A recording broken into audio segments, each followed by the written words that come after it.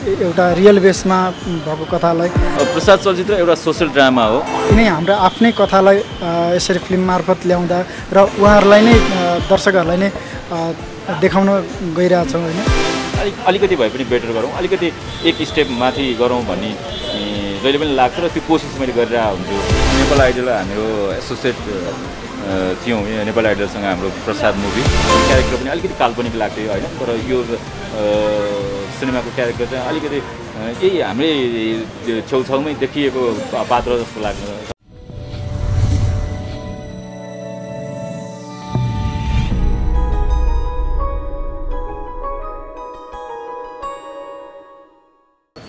हामीसँग हुनुहुन्छ चलचित्र प्रसाद निर्देशक दिनेश राउत र यो फिल्मका राइटर सुशील बोर्ड हुनुहुन्छ उहाँहरूसँग हामी कुराकानी गर्न चाहन्छौँ। यो फिल्म मङ्सिर एक्काइस गतिबाट रिलिज हुनेछ अल नेपाल र हामी सोध्न चाहन्छौँ प्रमोसन कस्तो भइरहेको छ प्रमोसन अब तपाईँहरूसँग भेटघाट।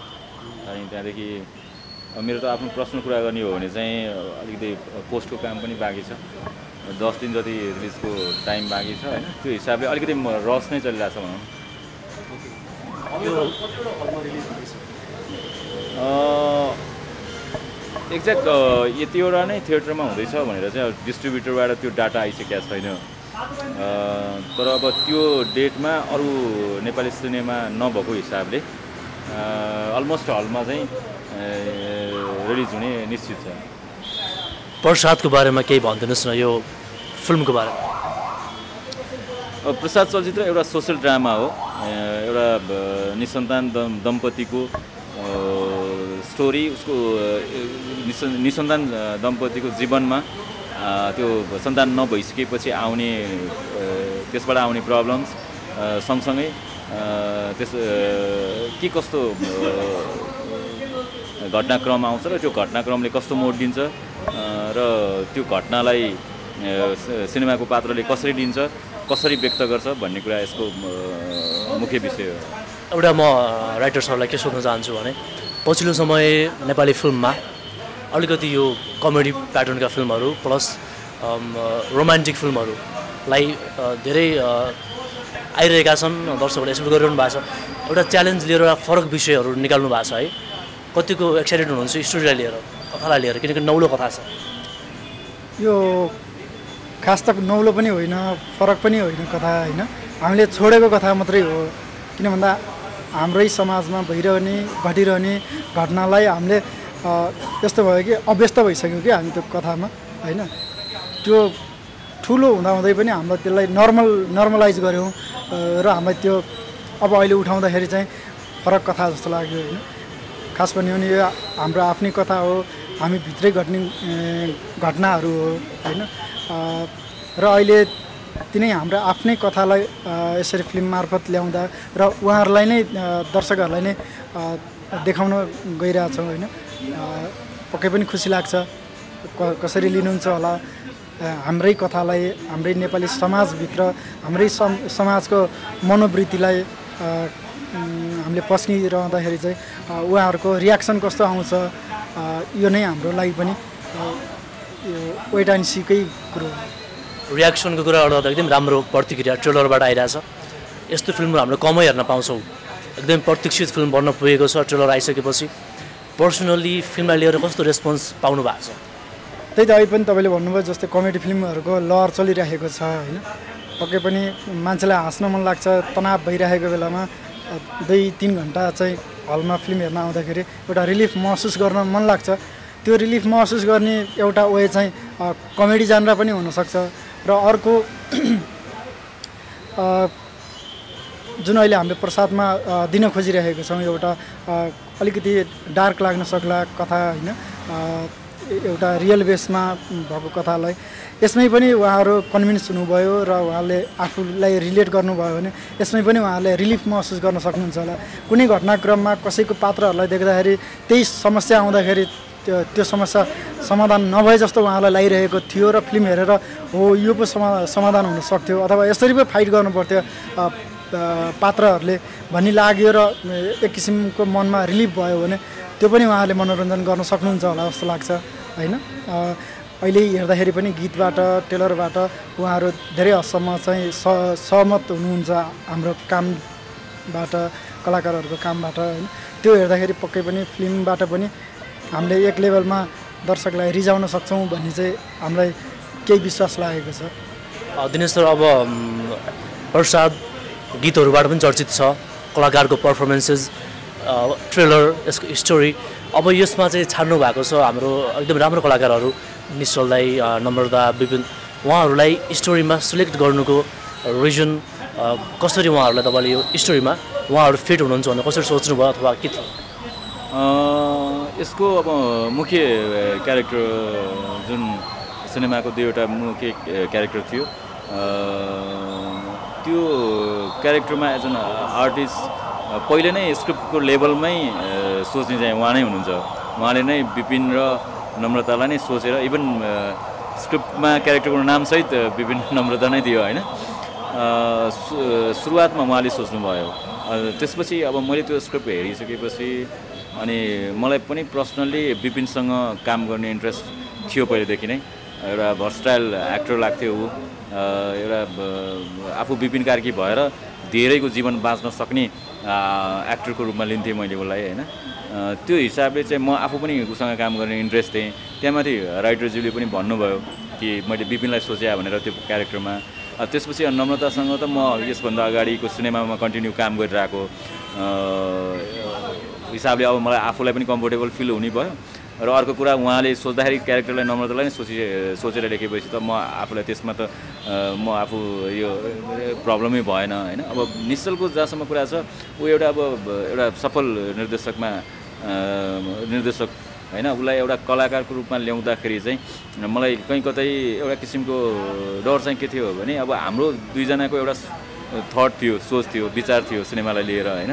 कतै उसँगको सोचमा चाहिँ केही भिन्नता आउने हो कि मतभेद आउने हो कि भन्ने चाहिँ लागेको थियो मलाई। किनभने एज अ ऊ सिनेमा मेकर फिल्म मेकर पनि भयो आर्टिस्ट मात्रै रहेन ऊ। एउटा राम्रो निर्देशक पनि भयो उसको आफ्नो थट पनि आउने भयो। भनेपछि हाम्रो थटसँग उसको थट मिल्छ कि मिल्दैन भन्ने एउटा चाहिँ डर चाहिँ मनमा थियो। तर जब हामी स्क्रिप्ट लेभलमा बस्यौँ त्यो स्क्रिप्टमा बस्दाखेरि उसको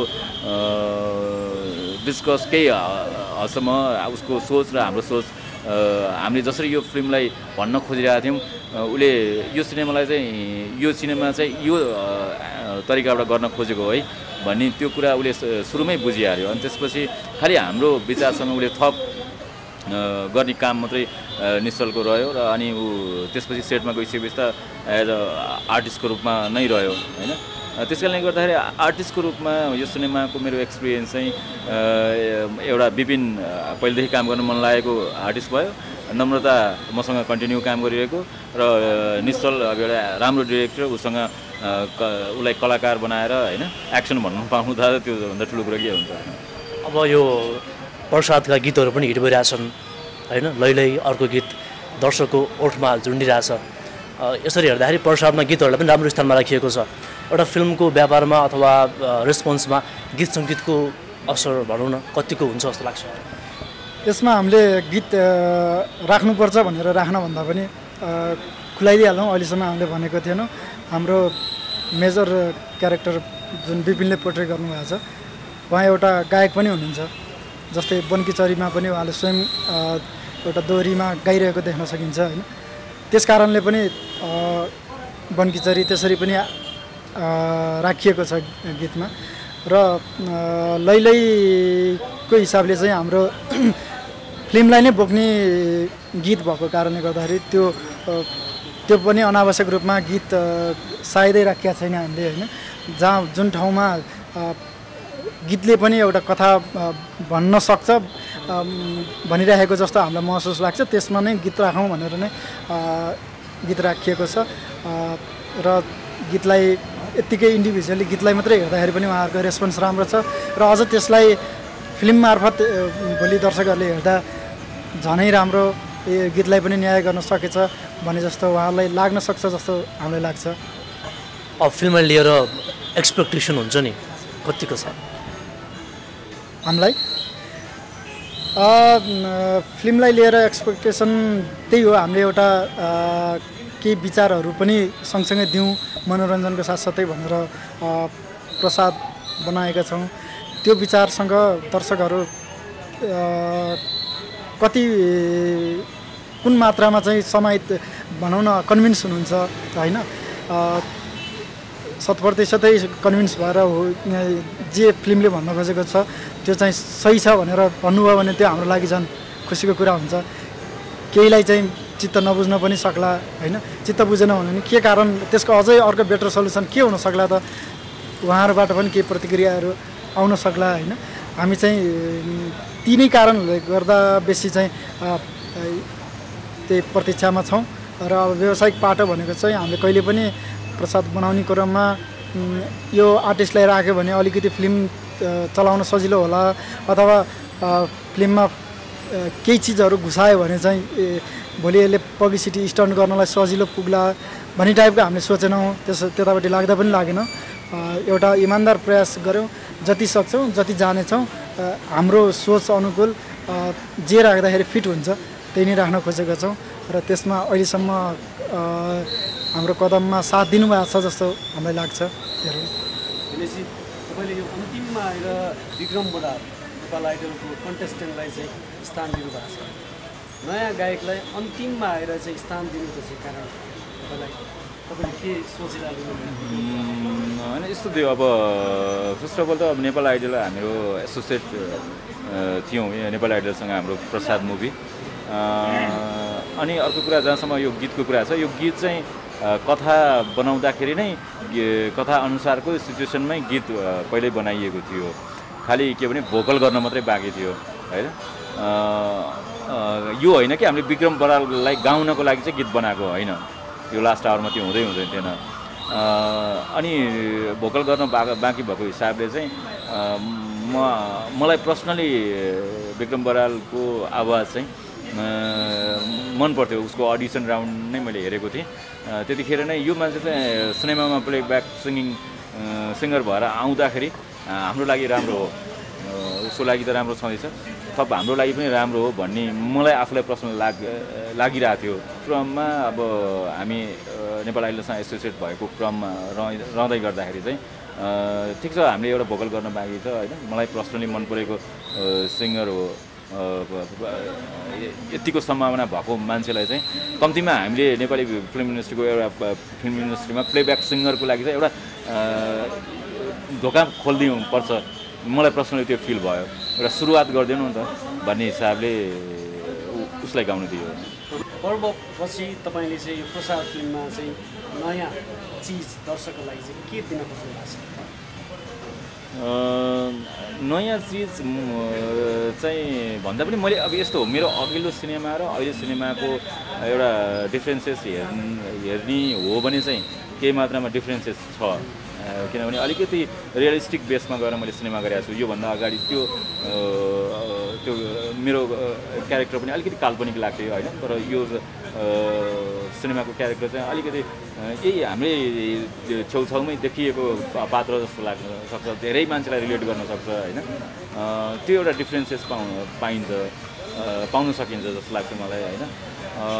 अरूको भनेको चाहिँ अब कथावस्तुको कुरा गर्ने हो भने पनि अलिकति एउटा थट बोकेको विचार बोकेको कथा हो होइन? एउटा क्यारेक्टरको क्यारेक्टरले के एउटा थट भन्न खोजेको कथा हो त्यो हिसाबले पनि पहिलाको सिनेमाको तुलनामा अलिकति डिफ्रेन्सेस होला। र कामको हिसाबमा पनि अघिल्लो सिनेमाहरूभन्दा अलिकति मेरो आफ्नो काम पनि अलिकति मेच्योर्ड भएर आएको सिनेमा हुनसक्छ भन्ने मलाई लागेको छ। अब दर्शक दर्शक दर्शक चाहिँ यो फिल्म किन हेर्न जाने? तपाईँले के भन्नुहुन्छ? अन्तिम अन्तिममा मेरो यो कुरामा पनि त्यही नै कुराहरू जोडिन्छ जुन मैले अघि भने होइन? मेरो अघिल्लो सिनेमाहरू जुन किसिमका थिए होइन? मेरो सिनेमा कति दर्शक हुनुहुन्छ? मेरो सिनेमालाई रेगुलर यसको सिनेमा चाहिँ हेर्छु भनेर हेर्ने दर्शकहरू पनि हुनुहुन्छ। जसरी अघिल्लो सिनेमाहरूमा जुन लेभलमा सन्तुष्टि हुनुहुन्थ्यो अथवा केही कमी कमजोरी लागे लाग्थ्यो होला होइन लागेको थियो होला मलाई पर्सनली कमेन्ट्सहरू पनि आउँछ होइन यस्तो भइदिए उस्तो भइदिए भन्ने त्यो सधैँ रहिरहन्छ होइन।